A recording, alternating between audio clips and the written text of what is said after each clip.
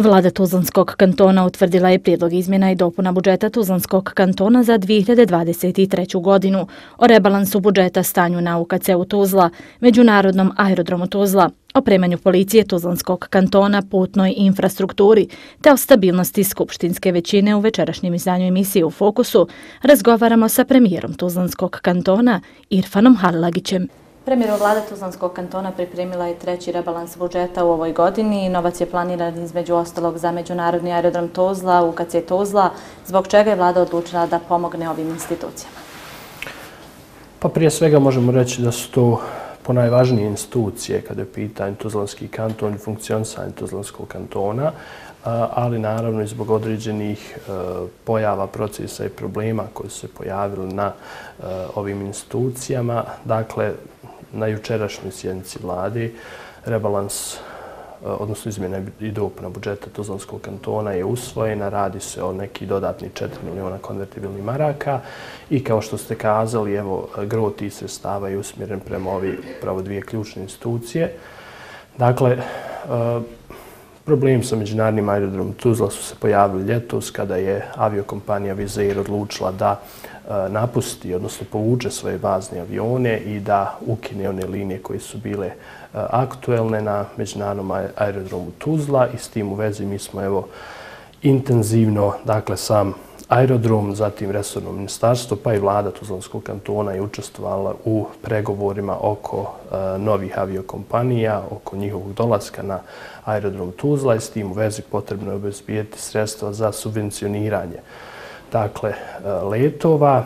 Kad je u pitanju Univerzitetski klinički centar, zatekli smo teško stanje, zatekli smo, evo, slikovito kazano jednog bolesnika kojeg je potrebno liječiti i vidjeli ste u proteklih više od godinu i pol dana da smo zaista značajna sredstva obezbijedili e, za poboljšanje funkcionisanja Univerzitetskog kliničkog centra i predmet ovog rebalansa je e, dodatnih milijoni stotinu hiljada konvertibilnih maraka koji bi trebale biti utrošene na e, poboljšanje tog E, tako da kažem, infrastrukturnog dijela, odnosno e, poboljšanje uslova rada, prije svega na e, klinici za ginekologiju i akušerstvo, preko 600.000 konvertibilnih maraka, a oko 300.000 konvertibilnih maraka je potrebno za adaptaciju i otvaranje dječje psihijatrije pri UKC-u. Dakle, to je sadržaj rebalansa. On je prošao procedure kad je u pitanju svajanje na vladi, na sjednici vlade i e, idemo prema Skupštini Tuzlanskog kantona koja treba e, konačno da razmatra i izjasni svoj istu.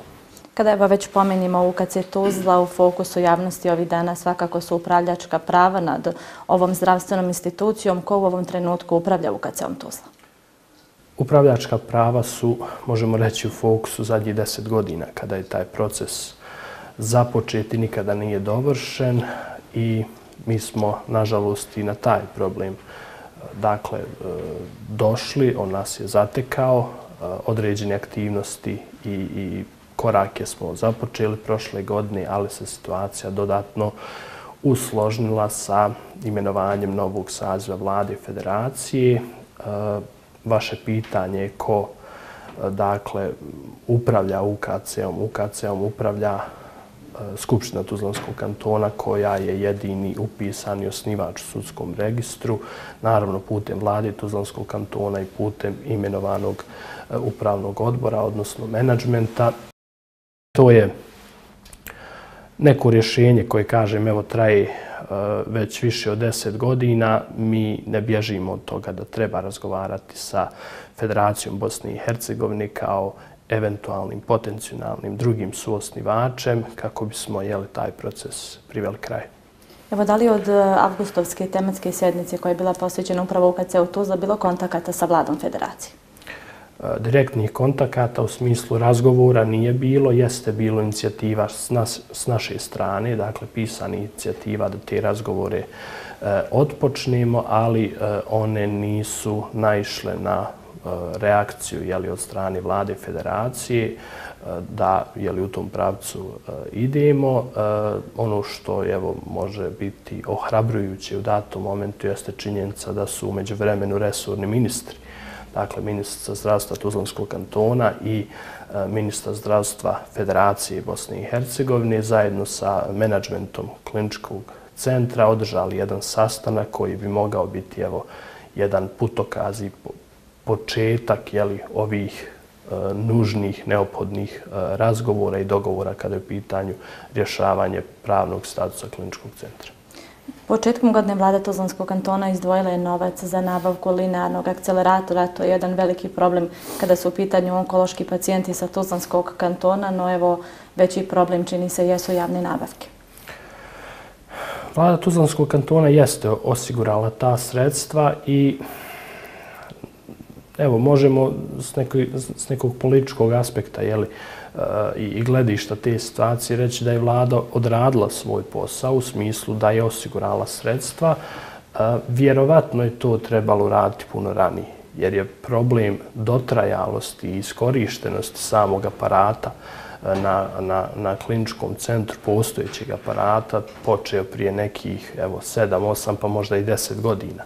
Mi smo prva vlada koja je to prepoznala, koja je sredstva obezbijedila skoro 10 miliona konvertibilnih maraka, ali nažalost, evo kao što sami kažete, nailazimo na problem javni nabavki. Javne nabavke zaista jesu problem u smislu uh, E, složenost jeli, njihovi realizacije, pogotovo kad su u pitanju evo, e, ovako veće nabavke, ali je dojam i ono što ja imam informaciju, e, također problem to što na Univerzitetskom kliničkom centru ne postoji u ovom momentu adekvatan kadar koji može tu nabavku da provede.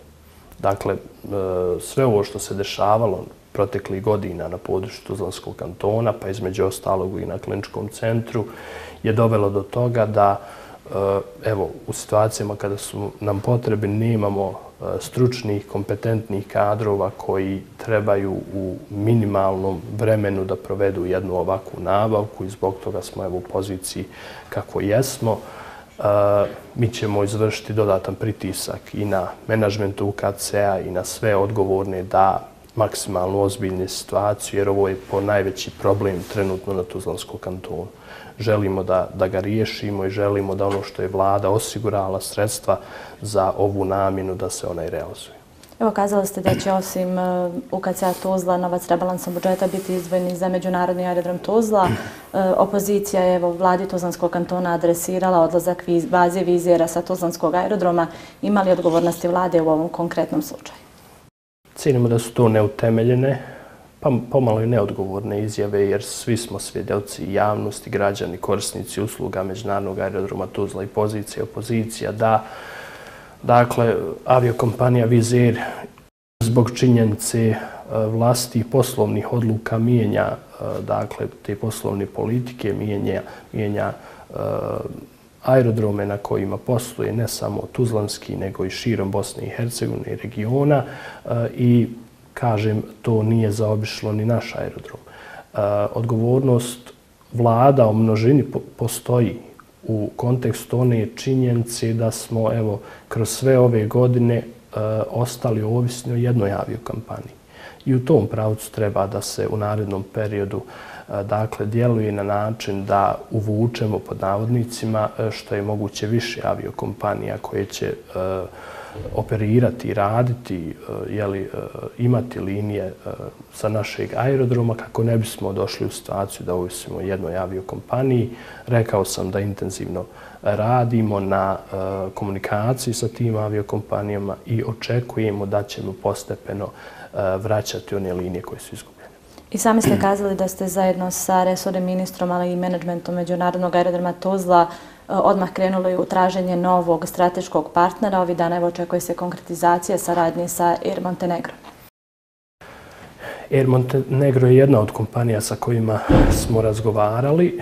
Ovih dana je, e, mislim, prošao procedure E, javni poziv za subvencioniranje, zašto smo evo između ostalog rebalansom osigurali ta sredstva e, i ta javni poziv za aviokompanije će biti e, dakle, u opticaju vrlo brzo, kojom prilikom će sve aviokompanije zainteresovane biti u mogućnosti da se na iste jave i na temelju toga jeli, da potpišemo određene ugovore u smislu baziranja aviona, u smislu realizacije ovih Eh, dakle, linija koje su interesantne i prioritetne za Tuzlanski kanton eh, i s tim u vezi, evo, u, u medijima, u javnosti se već pojavile određene dakle, linije koje su izvijesne, a vjerujem da ćemo do kraja godine dobar dio tih linija vratiti. Da li će to biti Air Montenegro ili neka druga aviokompanija, to, je, eh, to, to će biti rezultat samog javnog poziva i odluke samog menadžmenta aerodroma. Puno se zadnjih mjeseci pričalo i o davanju aerodroma u Bosni i Hercegovini pod koncesiju. U slučaju Tuzlanskog aerodroma stvari su malo komplikovanije. Pa jesu e, komplikovani u toliko što se radi o kompleksnim imovinsko-pravnim odnosima kad je u pitanju uh, onaj gro infrastrukture na aerodromu sama pista i eh, uh, jeli, objekti koji se gore nalaze. Iz tog razloga ja sam evo eh, stava da tu priču u ovom momentu kada imamo potrebu rješavanja aktuelnih problema ne treba otvarati kako će se stvari odvijati u narednom periodu o tome se da pričati, ali u ovom momentu kažem, pored onih infrastrukturnih radova koji su aktuelni na aerodromu Tuzla, dakle, e, parking, A3, treći gate, e, rasvjeta na samoj svjetnostna signalizacija na samoj pisti e, i, i ova problematika, mislim da evo priču o koncesijama nije potrebno otvarati. Premijeru za opremanje Ministarstva unutrašnjih poslova Tuzlanskog kantona u posljednjih godinu i pol izdvojeno je pet, oko 15 miliona maraka. U petak je bila izvanična prezentacija oklopnih vozila mm E, koji su nabavljeni za potrebe policije Tuzlanskog kantona. U ponedjeljak isto vozilo stiglo i u Federalnu upravu policije, a očekuje se da tri budu isporučena i Ministarstvo unutrašnjih poslova kantona Sarajevo. E, zašto je nabavka ovih vozila za policiju Tuzlanskog kantona izazvala velike diskusije u javnosti, a ove su nekako, tako da kažemo, prošle ispod radara? Pa dojem je da je e, sama najava nabavke tih vozila izazvala reakciju, pogotovo evo E, neki kontekst i, i jedan slogan koji je na neki način poistovjetio se sa tom nabavkom, e, a, a to je zlu ne trebalo. E, nekako lavina komentara, lavina reakcija je izazvana od, od, od evo, samog tog momenta i sa nekim pos, nekom do, po, posebnom dozom iščekivanja se očekivala jeli, ova nabavka. Ona je kruna, rekao bih, evo, ovih ipak prvih aktivnosti kad je u pitanju prijemanje e, policije, odnosno struktura e, policije Tuzlanskog kantona, e, izražavamo naše zadovoljstvo da je ona uspješno realizovana, posebno evo kada spomenimo činjenicu da federacija ima e, neka e, četiri slična oklopna vozila koja su puno Eh, starije proizvodnje. Tuzlanski kanton evo sam ima četiri, eh, pogotovo iz razloga što nijedan drugi kanton nema eh, dakle, ovih oklopnih vozila, pokazuje zapravo da Tuzlanski kanton prednjači kada je u pitanju prijemanje policijskih struktura i to je zapravo jedan odraz potrebe u smislu onoga što smo zatekli kada smo jeli, preuzeli e, pozicije e, u Skupštini vlade Tuzlanskog kantona i sigurno da će tim pravcem nastaviti. Osim oklopnih vozila, početkom iduće godine očekuje se isporuka takozvanih dugih cijevi i aktivno se radi i na kadrovskom jačanju, jačanju Ministarstva unutrašnjih poslova. Pa da, fokus je na uh, oklopnim vozilima i oni, ona zaista simbolizuju jeli, sve ovo što smo radili, ali uh, riječ je o zaista jednom, jednoj e, složenoj, kompleksnoj proceduri e, jačanja, materijalno-tehničkog jačanja i kadrovskog jačanja struktura e, policijske e, uprave, odnosno uprave policije. Evo, spomenuli ste duge cijevi, ugovor su potpisan, mislim da slijedi e, sukcesivno isporuka tih Eh, dugih cijevi, pored toga evo, nabavka pištolja, balističke opreme, eh, adekvatnog broja vozila, eh, zatim nabavka vozila za, za, za, za potrebe 200 kandidata, odnosno kadeta na akademiji, sve su to, dakle, sve je to produkt investiranja u upravu policije.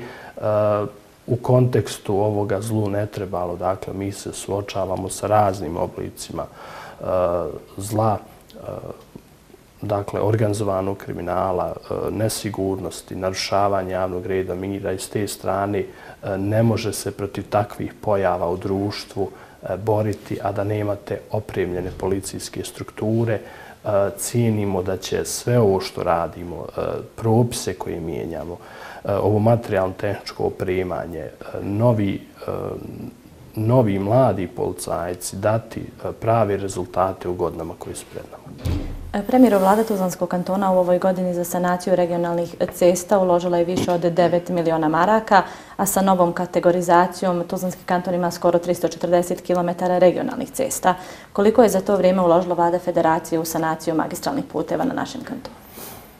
E, prošle godine nekada kada smo intenzivirali jeli, e, potrebu tog investiranja od strane e, cesta, evo konkretno cesta federacije eh, na području Tuzlanskog kantona, nama je prezentovan neki plan investicija težak neki 20 miliona konvertibilnih maraka kada je pitan Tuzlanski kanton. Eh, dojam je da najveći dio eh, tog plana nije realizovan i bez obzira što je to evo na prvu značajan iznos, cijenimo da to nije dovoljno. Nije dovoljno u kontekstu onoga što Tuzlanski kanton daje, koliko je važan, koliko je, uh, koliko je vozila jeli, registrovana na području Tuzlanskog kantona i sve su to razlozi da budemo e, i aktivniji i odvažniji u traženju više za Tuzlanski kanton. Cijenim da e, ukoliko se to ne desi, zaista će doći do određene Eh, određenog političkog gnjeva sa područja Tuzlanskog kantona kao jedne adekvatne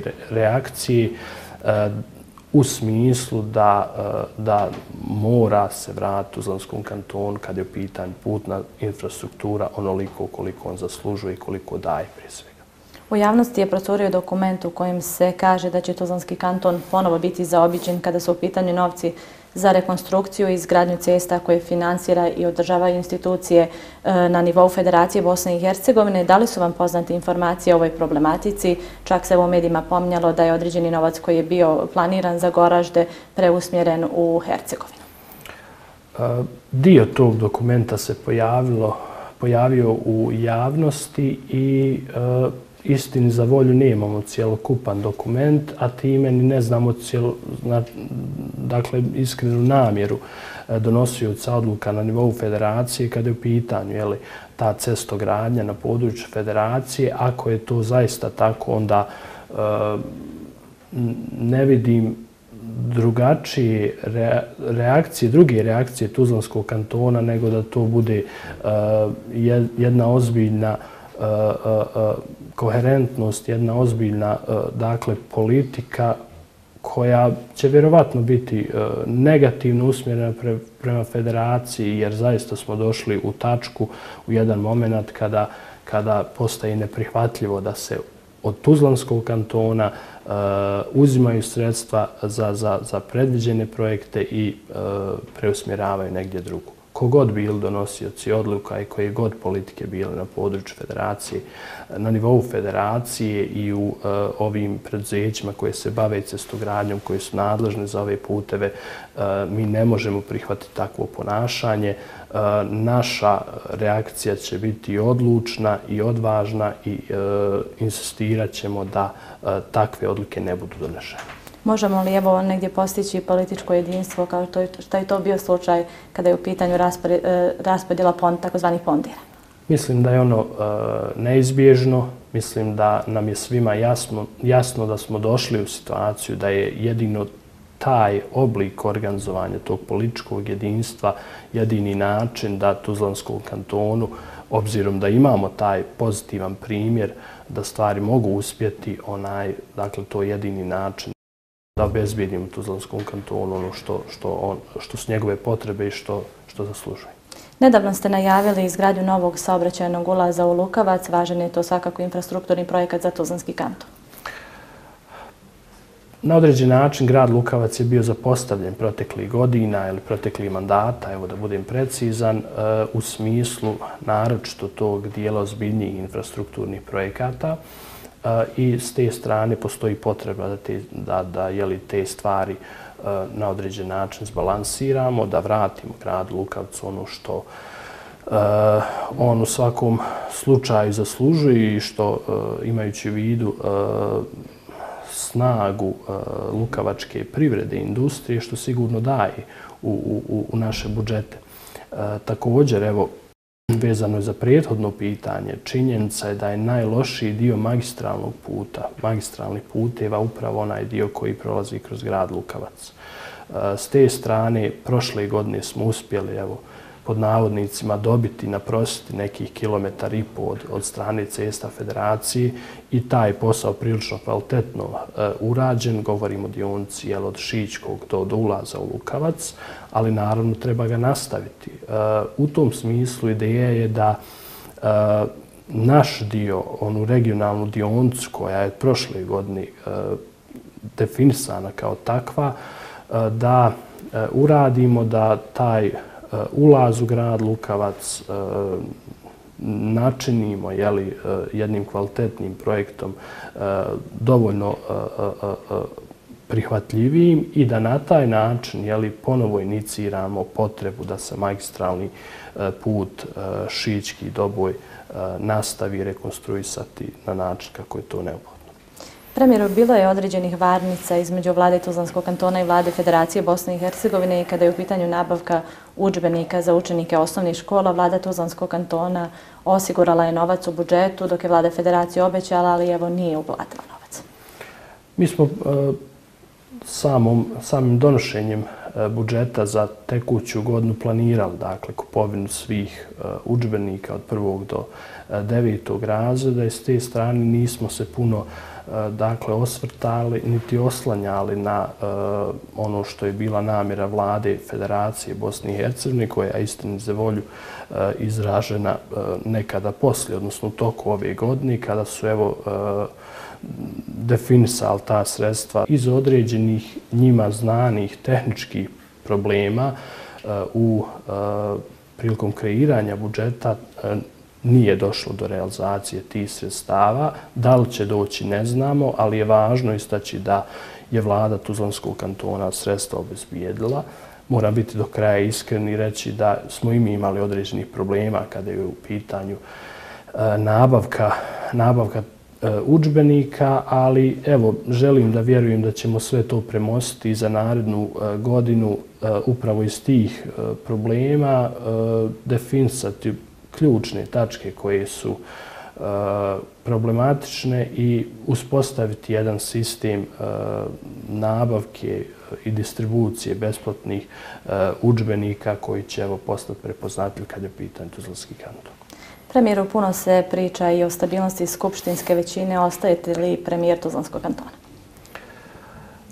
Od samog početka evo priča se o dakle, e, skupštinskoj većini, o nekoj drugoj skupštinskoj većini, e, ono što je fokus e, rada vlade Tuzlanskog kantona jesu mjere koje treba da provodimo, problemi koje se, sa kojima se suočavamo.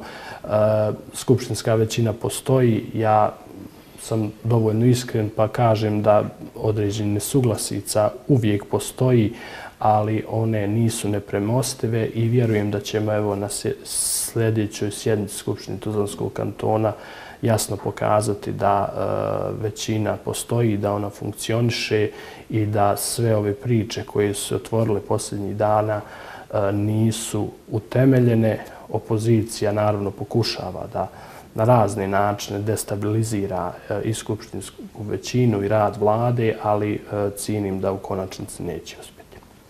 Šta će biti u fokusu rada vlade Tuzlanskog kantona u narednoj godini? Znamo da ste mjere predstavili za cijeli mandat po godinama. Mi smo ovu godinu pored problema koji su nam se pojavili na području Tuzlanskog kantona, u dobrom dijelu proveli u pripremi određenih e, projekata, projektnih dokumentacija, dakle u tom tehničkom dijelu cijenimo da je sljedeća godina godina u kojoj ide, idu e, realizacije tih projekata na terenu. E, želim da vjerujem da je sljedeća godina historijska godina kada je u pitanju E, početak e, jednog generacijskog projekta, a to je početak izgradnje kampusa univerziteta u Tuzli, koja je, e, koji projekat je sam po sebi e, izvijestan.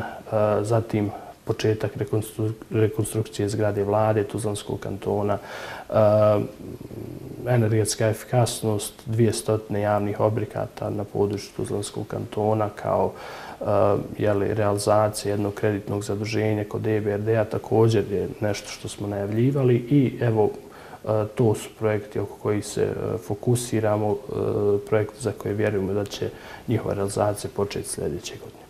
Puno posla je pred vama. Hvala vam puno što ste izdvojili vrijeme i govorili za radio televiziju Tuzlanskog kantona. Hvala vam.